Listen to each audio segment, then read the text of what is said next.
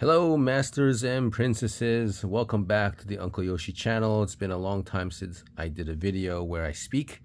Um, the reason why I haven't been able to do so was because after I got back from Osaka to Yokohama, you know, I got very ill. So like the second half of my trip in Japan went to waste, so to speak. And if you're wondering what kind of illness I, I got, you know exactly what I got, right? So um, if I start coughing or something, um, then you know why. Uh, but uh, I am feeling better um, day by day. I try to do some short videos here and there and uh, hope you're enjoying that. But what I'd like to do today is uh, kind of talk about, you know, just things on my mind about Band-Maid and Yokohama Arena Show, as well as showcasing of some of the uh, merchandise that I picked up and what you're seeing now is the 10th anniversary um, jacket that I bought, which was kind of expensive. It was 30,000 yen or something like that, which is like $200. And for the quality, paying $200 for a jacket, I mean, it's it doesn't really, it's not, it's not up to par, but it is a Band-Maid jacket. And one of the things about Japanese sizes is that the sleeves this is like, you know, I don't know if you can see, but it's not as long as it should be for, I guess, American people. And, and I'm one of those people that have longer arms. So um, I bought a large and it still feels a little tad short. Um, don't know why that is, but that's the way Japanese people's um, sizes are. But uh, this is the one that we're going to start off with. And then I'll show you. Some of them are still in the package. I just got them like uh, yesterday, right? So uh, this is the second package that I got. There's more. The first package that came like a couple weeks ago.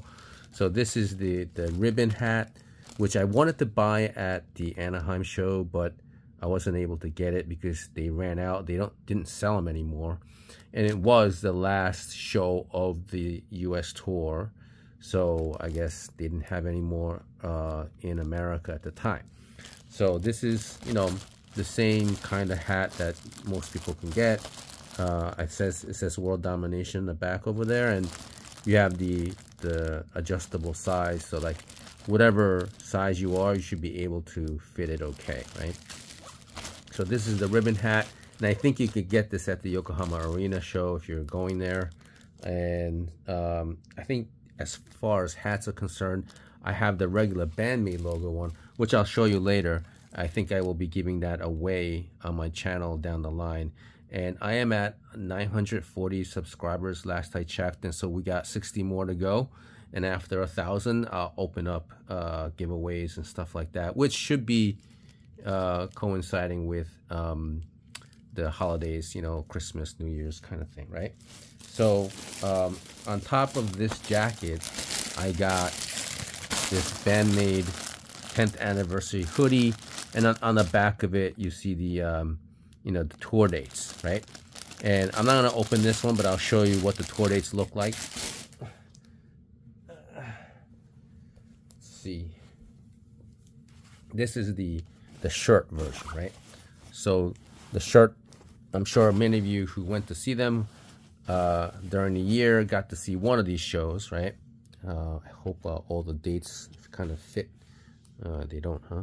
But uh, I'll just kind of move it around so you see the dates. And I went to the one uh, August 15th, and some of you went to a bunch of them.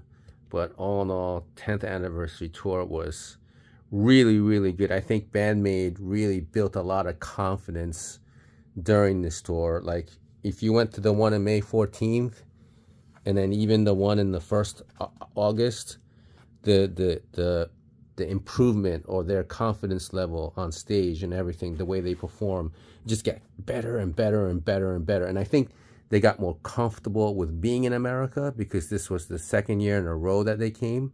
I think in the first year, there was a little bit of like concern with, you know, the, the illness and all that stuff. And they were still wearing masks uh, when they were not playing. So um, yeah, this is this is the shirt, and on the um, this hoodie, and I think I bought a large. um, it'll have the same thing on the back, okay? So um, the next one is going to be the Shambles shirt, which was only available um, for those of you uh, Meshu Sama um, uh, members. And I'm a member and I was able to buy it and have it sent to the place I was staying in Japan. And this is a large and I'm going to keep this one. But I also have an extra large and a lot of people said um, extra large would be good. So this one will be kind of like a giveaway. And if you want to see what it looks like on the back, this is the one where I think Miku is on the back and she had a lot of things to say about this, you know. Um, here it is. So Miku was complaining about her legs. like, my legs aren't like that or something like. She was like really like, that's not me. Looks way too muscular or something, but maybe maybe it's part of the the the characters in the car the animation for the song Shambles. I think a lot of the characters have like this muscle body build and they fight or whatever. I, I don't know enough about the animation, but um, I think that's where they try to make it similar, right? So this one is mine, and I just took it out, and and this one that's still wrapped will be given away to one lucky person, right? And I don't know which ones are going to be going first or whatever, so we'll, we'll see. There's other things that I have. This is a poster that I got, and I think it's the one that has Thrill on it. See, it says Thrill right? So that's included in this one. Then I have two more posters somewhere. I don't remember where it is, but I'm sure it'll come up. And that one of those or two of those might be another one of those giveaways. And this is a white with a you know black background. You know over here, Band-Maid towel. Um, thinking maybe I'll put this on my like like a pillow cover, so to speak, and so my head is resting on Band-Maid, which is kind of cool. And then they also have the other way around where it's a black towel with the white font, right? With the ribbons here like this. So I kind of like this one better, but both are really cool. So I got one of each. Um, let's see now, what else we got? Okay, so here's a couple of like Band-Maid hats with the logo which I will probably give away both of these uh, down the line, okay? And uh, uh, these are also adjustable size. You don't have to worry about it. And then here are the additional posters. Um, this is the 10th anniversary tour, and I have two of these. So I might keep one and frame them and stuff. And if you guys know the actual size, length and width, that would help so that I could, I don't have to open it yet and then I want to get like a frame so I could, you know, put it various places. I've, I've seen a lot of people frame them and put them in like their Band-Maid sort of like altar corner area. So I have these two here and I'll give one of them away or maybe if I don't um, like some of the posters that are, there's like multiple posters in here and if I if I see one that I'm like, yeah, I don't really care for this one, then I'll give that away too, okay? Um, let's see. Oh, yes. This is another Band-Maid towel with the graphic. It's like a game, right? And uh, these uh, game graphics, I think, is also like made into a keychain. And so far, I have I have um, uh, Akane, Misa, and Kanami. I don't have Saiki and Miku, so I'm gonna try and collect all five. All right. So here's another towel with all these different writings on it. Yeah. Band-Maid towel. So I have, I think I have all of them or most of them, right? Then I have this um, poster cards. I bought two. So I think I'll give one of these away. Well, it's taped up now, so I can't open it. So um, this is probably going to be really nice because there's like multiple cards of Band-Maid And when I do open mine, I'll do another video just showcasing this and I'll show you what each and every card looks like. And I'm sure it'll be mostly of the members and maybe it might be like a Band-Maid logo or something like that. So I have these here and one of these will be given away down the line. All right. Um, oh, okay. I have two of the keychains that I can show you. Uh, Kanami is somewhere else in my room, but I have Misa and Akane, and I got I had I got two Akane, so one of them went to my brother because he's a drummer, right? So um, I have these, and if I get more like doubles and stuff, those will start going to as gifts, right? So giveaways. Hmm, what else do we got? I have these rubber band things I'm not sure what you can use them for, but I guess most people use them as wristbands, right? So um, I got these as well, and right now I just have the blue and the black, and maybe I'll give one of these away. Um, oh yeah, there's more. These are like shirts. Okay. Nice. Band-Maid, I think this is the Band-Maid long sleeve shirt. I didn't open it, so I don't know what the back is. Uh, should I open it? Well, when I open it, I'll show you. I'll take a picture and put it in the community post. But I think this is a long sleeve one, right? And then this one is a Band-Maid 10th anniversary. And I think you can see over there, it has Band-Maid. It has all the tour dates for Japan. So I got one of these because I went to the Namba Hatch show and um, uh, that's the only one I have for the Japanese one, I think. Okay. Then I have another one of these. Um, you know, I don't even know for sure what it is. It might be just a regular long sleeve, I have two. Maybe, well, I think one of them has a dragon on the back, and the other is just kind of regular logo. Now I'm like really curious. So like, let's see. I'm gonna open this one now. If this one has the dragon on the back.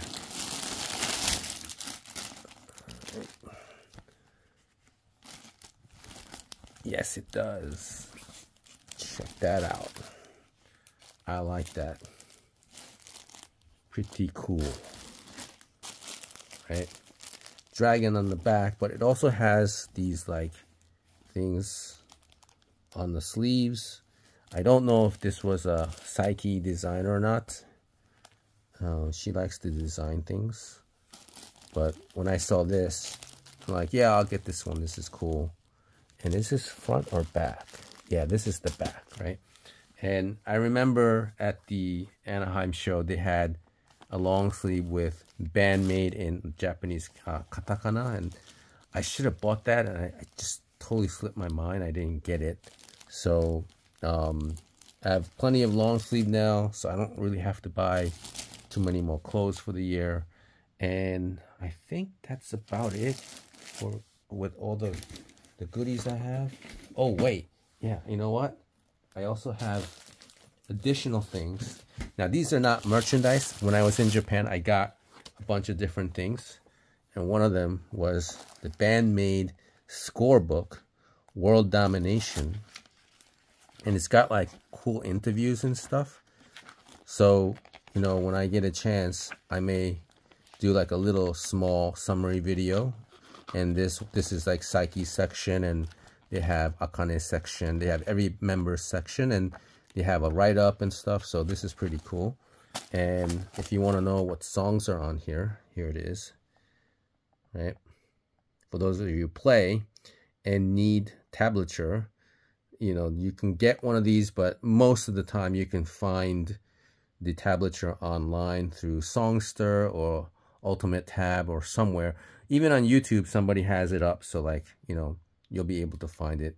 Otherwise you have to learn by ear right and the other book here is this is the brand new Brand New Maid and it's it has Yamaha signal sign on it.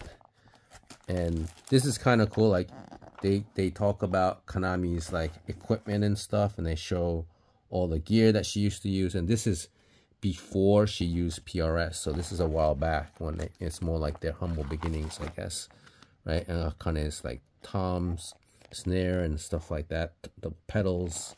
So this one has eight songs, right? Nonfiction Days, great songs. Look at Me, Order, Brand New Road. So these, there's some of these songs are really old, right? Um, so if you're a new fan, you may not know these, and and um, maybe like uh, the earlier stuff, I think wasn't written by Band-Maid. It was written by other people so that they can play it. And so I got these two, and then uh, there's some dust on the outside, but I got the Burn um, Band-Maid. This is more recent. I got this. Uh, had a friend of mine pick it up for me, so I got one of these. And uh, what else did I get?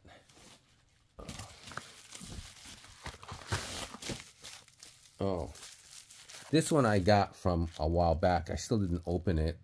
Um, I bought it from eBay, I think, right? Some kind of magazine featuring them. Uh, massive, right? And I bought uh,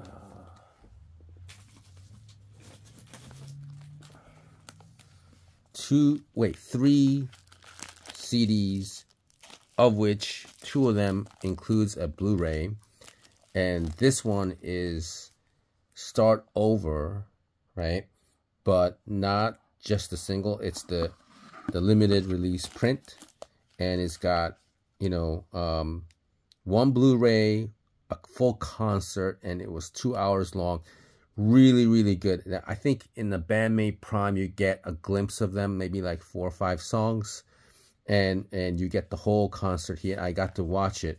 Now, it didn't play on my DVD, I mean, a Blu-ray player, but my Blu-ray player is old, so I had to like rip it somehow with the the Blu-ray player recorder on my computer.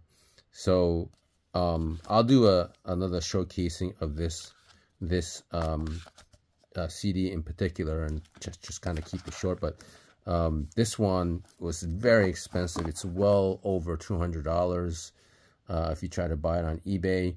Luckily, I had a friend of mine in Japan uh, who is going to the uh, Yokohama Arena show, and uh, I treated him to a pair of tickets saying, hey, just order yourself a pair of tickets and and if somehow, some way I could get there, then I'll go with you. But um, you know, I'm not well, so I can't go, right? And then so he found a friend and uh he found a friend who could go, but then he got the flu. So now his friend can't go. So I had to give away the ticket. Well, not give away, but find someone who want to either upgrade or someone who was willing to go. And all my friends in Japan couldn't go, um, and they don't really know Band-Maid that well, right? So uh, right now, Joe Luna is, um, I'm sure most of you, some of you know Joe. He's the one that's always wearing the LA Dodgers um, uniform. Um, he might be able to uh, get in touch with my buddy over in Tokyo and and upgrade to the 19th row. I don't know how he did this, but it's a random, like when you order tickets, like it's random seating. You don't know what you're going to get until you print it. And my friend told me he, he got 19th row. I'm like, oh, if I was there, I would have been with him. And like, I would have been able to see Band-Maid 19th row at Yokohama Arena, which would have been mind blowing, you know, like, yeah, I went to see, um, uh, Band-Maid in Osaka, and that was like a fifteen hundred um, people. The whole venue was about fifteen hundred. It was sold out. Now it's kind of in the back towards the mixer board, but it was still close. It was still close enough to feel like I'm very close to them.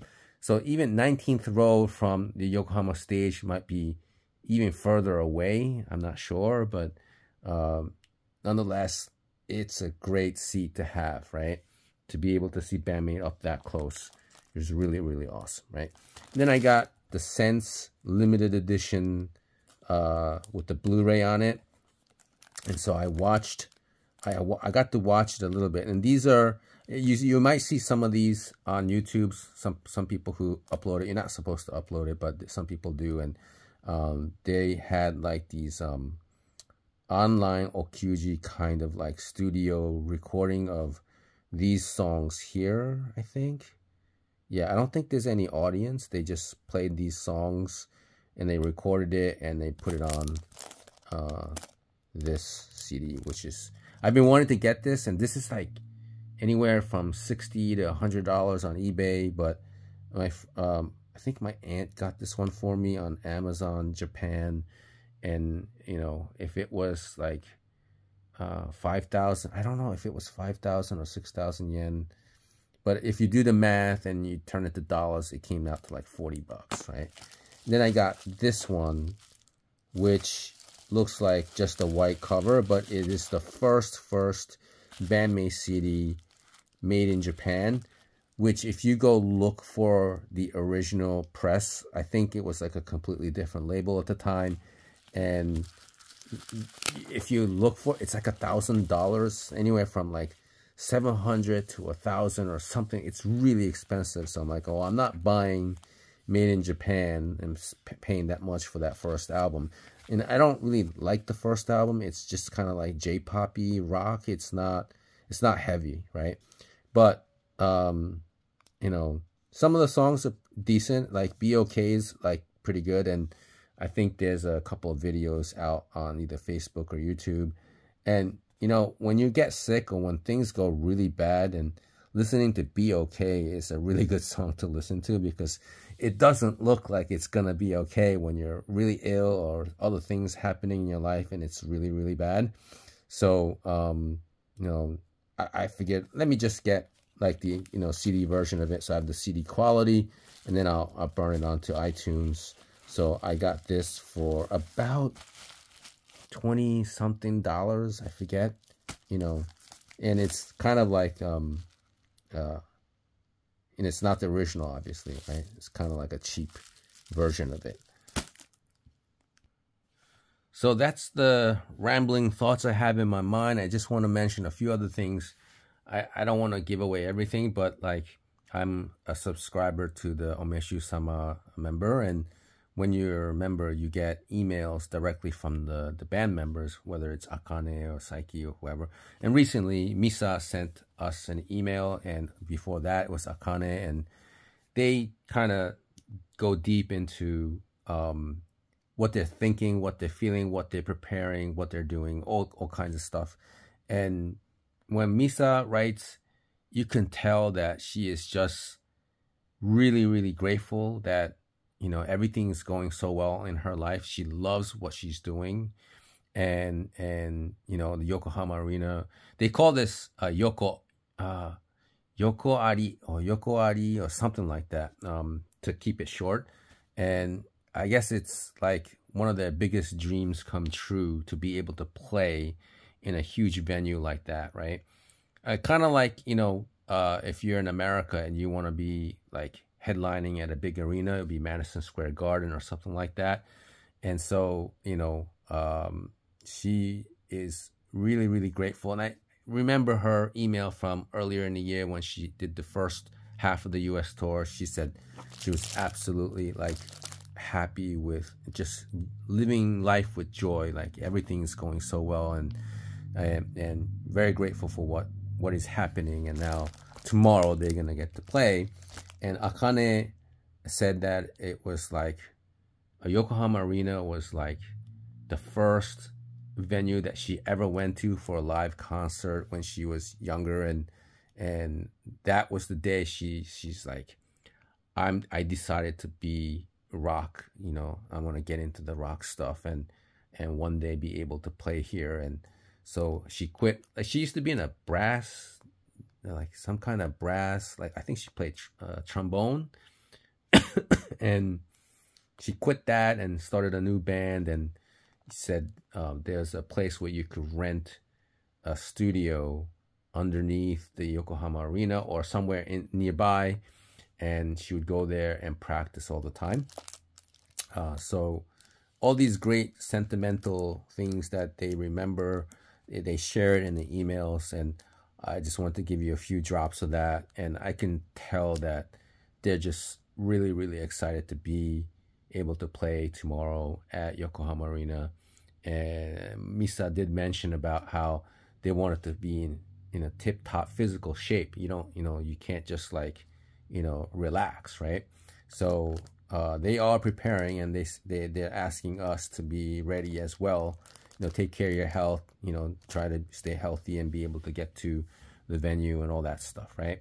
So, um, yeah, that's, it, it turned into a long video, but I'm just ranting here. Not kind of a, a bad thing, but rant in a way that I had all these things in my mind that I wanted to tell you guys. And then I got ill, you know, I got sick. So um, I haven't been able to do too many videos. Like I would cough so much that I couldn't talk well. But right now, it's been okay. Just a little bit of cough here and there. And for those of you who are going, as well as those who you you know going to be watching on the streaming, enjoy, enjoy, enjoy. This is probably the last chance we'll get to see something like this for this year. I know they're going to be playing in Hong Kong, but they probably won't stream it. But if they did, that would be really cool. So um, yeah. So any comments, questions, just leave them down below. Hit the subscribe and the thumbs up and all that stuff. That'd be great. And once I hit 1,000 subscribers, I will open up uh, giveaways and stuff. Okay. Stay tuned for more videos, and I'll see you in the uh, next one. Okay. Have a good one. Bye.